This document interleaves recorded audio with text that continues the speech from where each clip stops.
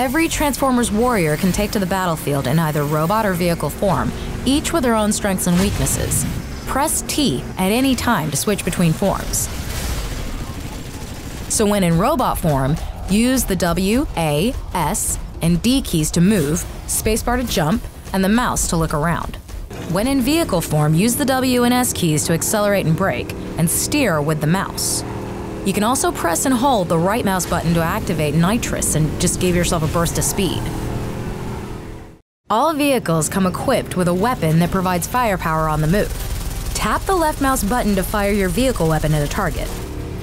All bots have access to three different weapons. Press 1, 2, or 3 on the keyboard to select your weapon.